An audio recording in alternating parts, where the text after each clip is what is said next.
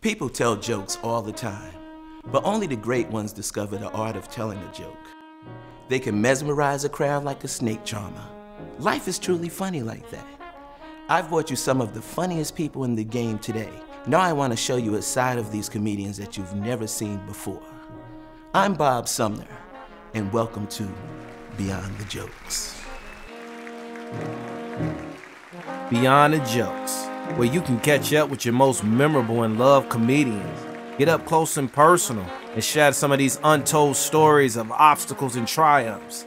Uncle Bob is in the driver's seat, taking you on an incredible journey of the glory days of Def Comedy Jam and life after such a huge phenomenon. Who was the original MC of the Kings of Comedy? It was just me, Cedric, and uh, and Bernie.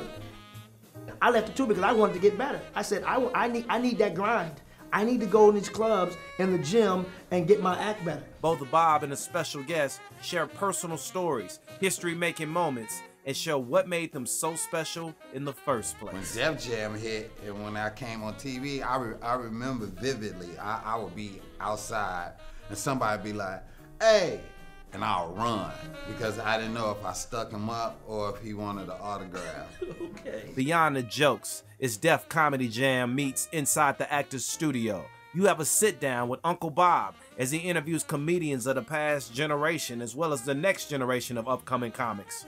Ladies and gentlemen, Tony Rock. First of all, Big Brother does everything first. When people think it's weird that I do comedy, it's like Big Brother had sex first. So should I not get pussy because he did it first? Right. Big Brother had a job first. Should I not want to work because he? I loved comedy. He loved comedy. Big Brother does everything first. Right. So that's it. Doesn't it doesn't seem that weird to me. Who else better to tell these awesome and incredible stories other than the Godfather himself? Each half hour episode showcases a special guest. He'll take you back to the early days of their stardom from Def Comedy Jam to sold out comedy tours and what's next in their legendary careers. the likes of many careers he made happen. And I've always tried to work hard to make Bob proud of the fact that he chose me to do Def Comedy Jam.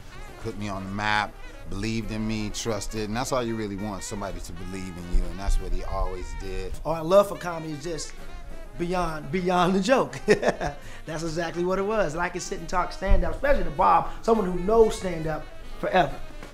He's seen him. He's seen them all. Much love to him, and I'm quite sure this is gonna be one of the hottest shows ever.